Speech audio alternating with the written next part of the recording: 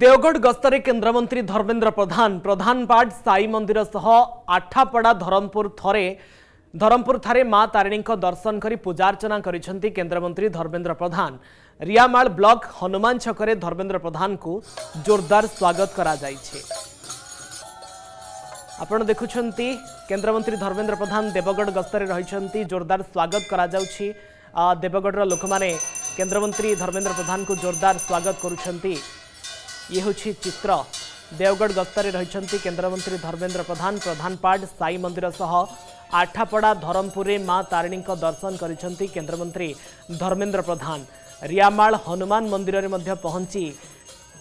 निजर भक्तिप्रत नवेदन कर देवगढ़ गस्तरे केन्द्रमंत्री धर्मेन्द्र प्रधान रही भव्य स्वागत कर करपुल परिमाण में केन्द्रमंत्री को स्वागत करके आपड़ सीधा सीधा चित्र देखुं